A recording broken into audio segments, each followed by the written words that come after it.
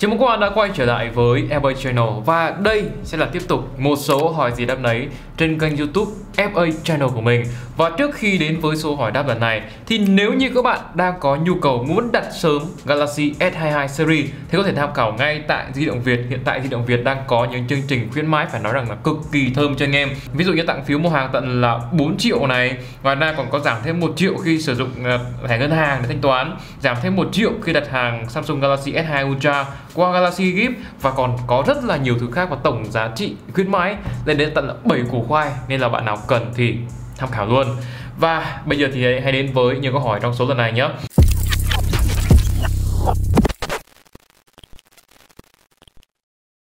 Bạn Khoa Lê có hỏi mình là anh ơi em có à, có máy nào khoảng tầm là 2 đến 4 triệu pin trâu sạc nhanh màn hình ổn em dùng lâu dài học online là chính mong anh tư vấn chúc anh nhiều sức khỏe nếu như mà bạn đã xác định là mua một chiếc máy thời lượng pin trâu và trong tầm giá từ 2 đến 4 triệu, thì các bạn hãy bỏ qua cái yếu tố là dùng lâu dài đi. Tại vì với những chiếc máy từ 2 đến 4 triệu và mình có thể kể tên cho các bạn ấy thì trâu thì có trâu thật nhưng mà dùng lâu dài thì nó hơi chán. Ví dụ như là 2 triệu thì bạn có thể mua con Technopop 5 LTE con đấy có pin 5000 mAh khá là ổn trong tầm giá lên quanh khoảng tầm 2 triệu là dùng bình thường thì ok. Còn nếu mà muốn dùng ngon mượt mà và lâu dài ấy, không ngon đâu. Hoặc tầm giá khoảng tầm là gần 3 triệu 2 triệu 7 gì đó thì có con ờ, Techno Spark 7T này này. Thì con Technospark 7T này có pin là 6000 mAh rất trâu. Nhưng nếu để dùng lâu dài thì mình thấy con điện thoại này chưa thật sự hợp lý cho lắm. Vì hiệu năng của nó bình thường và có thể gọi là yếu luôn đấy các bạn. Hoặc là trong tầm giá khoảng tầm là 3 triệu rưỡi đi các bạn sẽ có con uh, Techno Pova 2 Ôi, không hiểu kiểu gì, nãy giờ mình liệt kê toàn Techno luôn các bạn ạ. Nhưng phải nói rằng là Techno thì đang, gọi là, bá chủ phân khúc giá rẻ Về cái việc là giá rẻ mà có được cái thời lượng pin cao các kiểu rồi. Thì có thể tham khảo các sản phẩm Techno Pova 2 và mình thấy đây cũng là một sản phẩm ngon phục vụ tốt cái nhu cầu là sạc nhanh màn hình ổn rồi học online cũng ở cái mức được. Và dùng lâu dài thì cũng sẽ được khoảng tầm là 2 năm. Đó ít nhất bạn phải bỏ ra số tiền khoảng tầm là 3,5 triệu đồng. Nhưng mà mình nghĩ rằng là với nhu cầu học online học bình thường của chúng ta thì cũng không cần đến một chiếc máy pin quá trâu làm cái gì. Mà hãy ưu tiên những thứ khác. Thì nếu như bạn có khoảng tầm là 2 đến 4 triệu thì mình khuyên bạn là hãy cố thêm khoảng tầm 200k nữa để mua con Redmi Note 11 nó sẽ là ngon nhất. Vì con Redmi Note 11 cái gì nó cũng ngon. Màn hình ngon 90 Hz AMOLED, ngon chưa? Đó, hiệu năng ngon, Snapdragon 680 ngon chưa? Ngon. Đấy, camera ngon, pin 5000 mAh cũng ở cái mức gọi là vừa đủ trâu, sạc 33W có loa kép các kiểu luôn, nên là tầm này nhá bạn nên tăng cái mức mà bạn có thể bỏ ra để mua một chiếc điện thoại lên tối đa có thể chứ đừng có mua ở cái mức là thấp. Ví dụ như là 2 hoặc 3 hoặc 3,5 triệu thì mình thấy rằng là nó rất khó để có thể đáp ứng được cái nhu cầu học online và sử dụng hàng ngày của chúng ta. À, ST Jin có hỏi mình là tầm 4 đến 5 triệu thì mua được máy nào? Chip snap cam đẹp ổn nhất tầm giá em cảm ơn anh chúc anh nhiều sức khỏe với câu hỏi của bạn STZim tầm 4 đến 5 triệu mà mua chip snap cam đẹp pin ổn nhất à, à 4 đến 5 triệu thì gần như lại nó lại quay trở lại cái cái cái cái cái cái cái cái cái sản phẩm mà mình vừa tư vấn cho bạn uh, qua lê rồi. Đó là con Redmi Note 11 sẽ là một cái lựa chọn cực kỳ hợp lý cho các bạn. Màn đẹp pin ổn áp cam ổn áp hiệu năng ổn áp và chip snap luôn. Hoặc là nếu như mà tầm 5 triệu mà bạn không thích một cái hiệu năng ở cái mức là trung bình khá mà bạn muốn có một cái hiệu năng thực sự mạnh thì có thể tham khảo con uh, con Poco X3 Pro. Mình thấy là con Poco X3 Pro ngoại trừ cái vụ là màn nó xấu hơn con Redmi Note 11 ra thì gần như tất cả các yếu tố còn lại nó đều rất ngon và đều vượt trội hơn so với sản phẩm Redmi Note 11 thế nên là nếu mà có nhiều tiền quất con Poco X3 Pro nha các bạn? Ờ, thảo Kim có hỏi mình là anh ơi em đang có khoảng tầm 3,2,1 à, triệu. Em đang tính mua máy có camera ngon dùng mượt mà pin ổn để sử dụng tác của ngày cấu hình cũng ổn để chỉ liên quân pháp di động 20 năm. Em đang phân vân giữa Pixel 3a anh thấy sao ạ? Còn con nào ngon hơn tầm giá này mà đáp ứng được nhu cầu của em không ạ? Nói tư vấn uh, mong được thông tin một lần thực ra 2 triệu mốt là một cái mức gần như là rất thấp khi mà chúng ta để đi chọn mua điện thoại. Tại vì tầm đó thì chúng ta cũng chỉ mua được vài một vài con máy mới có thể gọi là rất là cùi đó, còn nếu mà bạn đã chấp nhận mua hàng qua sử dụng thì mình thấy con à, Pixel 3a khá ngon rồi. Còn nếu mà Pixel 3 hiện tại các bạn mua thì bạn phải bỏ ra một số tiền khá khá cao. Nó phải rơi vào tầm là 2 triệu 6 hay triệu 7 cơ. Đó, còn những cái sản phẩm khác trong tầm giá này thì bạn có thể cân nhắc con Sony Xperia XZ2 đang có mức giá khoảng tầm là 2 triệu 2 hoặc tầm này bạn có thể cân nhắc cái sản phẩm HTC U11 hiện tại cũng có hàng. Đấy, thì bạn có thể mua được trong tầm giá khoảng tầm là 2 triệu 2, 2 triệu 3 gì đó. Và mình thấy rằng là con Pixel 3 này thì được cái camera ngon, à, pin ổn. Còn về yếu tố hiệu năng để chơi game ngon ấy thì con chip Snapdragon 670 ấy, nó chưa thực sự tốt cho lắm.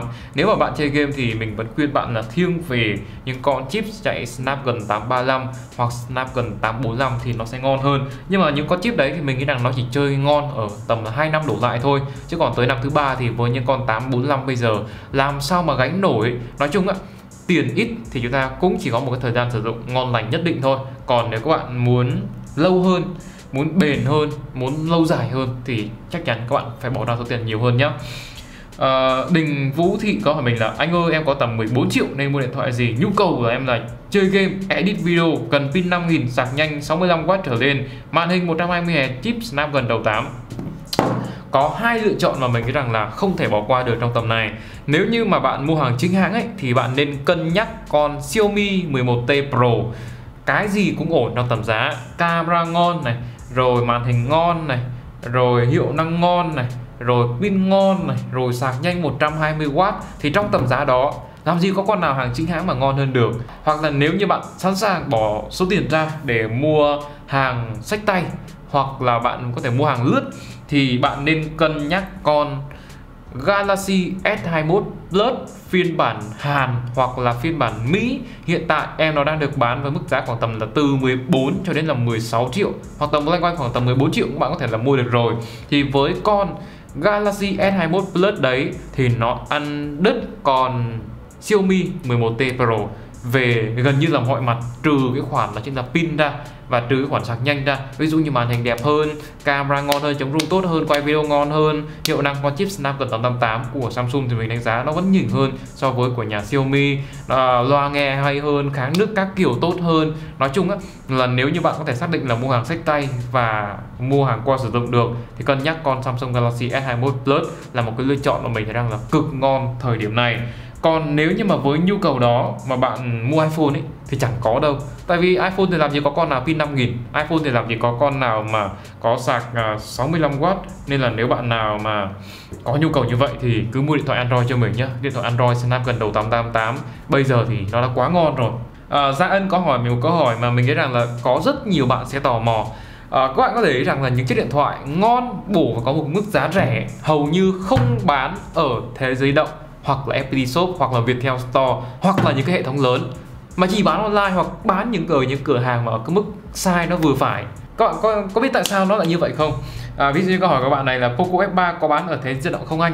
Poco F3 không bán ở thế giới di động và những hệ thống lớn. Tại sao như vậy? Tại vì à, đây là một con điện thoại có thể gọi là hủy diệt tầm giá của nhà Poco. Và muốn hủy diệt tầm giá được thì chúng ta nên kiếm những cái nơi mà có cái chiết khấu thấp nhất để bán thứ nhất là giá bán phải tốt, thứ hai là chiết khấu sản phẩm phải thấp. Ví dụ như là chúng ta bán ở những hệ thống lớn như là FPT Shop, thế giới động các kiểu, đúng không? Thì cái chiết khấu phần trăm trên một cái sản phẩm, nó sẽ rơi vào tầm là 20 thậm chí là 30 phần trăm tùy vào sản phẩm. Mà có những sản phẩm chiết khấu sản phẩm còn cao hơn nhiều nên là khi mà chúng ta bán những sản phẩm mà có mức giá rẻ, cấu hình cao và bỏ vào thế di động bán thì chắc chắn, mức giá của nó không còn rẻ và cấu hình của nó cũng không còn cao trong tầm giá nữa. Nên là đó là một trong những cái lý do mà Poco F3 không bán ở thế di động, mà họ lựa những cái kênh bán hàng nó ít phần trăm hơn. Ví dụ như bán ở những sàn như là Lazada, Shopee thì cùng lắm phí của họ cũng chỉ khoảng tầm là 5 phần trăm sản phẩm thôi. Ví dụ như họ muốn bán một cái sản phẩm có mức giá khoảng tầm là thu về nhé có mức giá thu về khoảng tầm là 7 triệu thì họ có thể đăng đó lên là 7 triệu năm. Còn nếu như mà cùng một mức giá như vậy là 7 triệu họ muốn thu về họ bán ở thế giới động hoặc là FPT thì nó phải lên ở mức giá khoảng tầm gần 10 triệu như vậy. Các bạn thấy rằng là mua online lợi hơn nhiều. Đó. Ok. À, Thành Lợi có hỏi mình là anh review thử con điện thoại Xiaomi 11 Lite 5G đi anh. Nó nhìn nó chơi game cũng ngon phết đấy. Ờ, review về con 11 Lite 5G NE và 11 Lite 5G thì mình đã làm rất nhiều trên kênh của mình rồi. Nếu bạn nào mà muốn tìm kiếm những video mình đã từng làm ấy Thì hãy tìm khóa điện thoại, tên điện thoại của bạn cộng với FA Channel Là nó ra ngay tất cả những video mà mình đã từng làm. Chỉ cần tìm xong. Ok, uh, Lương Hoàng Gaming có hỏi mình là anh ơi cho em hỏi Redmi Note 11 sau 4 năm đến 5 năm có bị lag hay lỗi thời không ạ? Chúc anh năm mới mạnh khỏe, nhiều sức khỏe uh, Với câu hỏi của bạn Lương Lương Hoàng Gaming ấy Thì đây là một câu hỏi mà mình nghĩ rằng là không cần trả lời thì các bạn đã biết được đáp án Với những con điện thoại cao cấp Ví dụ như kể cả 13 Pro hoặc là S22 Ultra thì sau khoảng tầm 4 đến 5 năm không không đến đâu, khoảng tầm 3 4 năm là nó đã bị lỗi thời rồi. Còn đây là một con điện thoại giá rẻ, nên là cái việc mà lỗi thời ấy, thì mình nghĩ rằng chỉ sau khoảng tầm vài năm thôi, một, hai năm, thậm chí là cùng lắm là hai, ba năm là bị lỗi thời và bị yếu rồi. Nên là những con điện thoại như này thì các bạn cũng đừng có kỳ vọng nó quá cao. Ví dụ như là mua điện thoại 4 5 triệu mà đòi dùng nằm 5 7 năm thì không có đâu các bạn ạ. Thực sự à, và chắc chắn luôn là con Redmi Note 11 thì nó chỉ dùng ổn trong khoảng tầm là 3 năm đổ lại. Còn hơn thì chắc chắn mình mình mình nghĩ rằng là nó sẽ không thể nào mà có thể đáp ứng nổi cái nhu cầu của chúng ta nữa.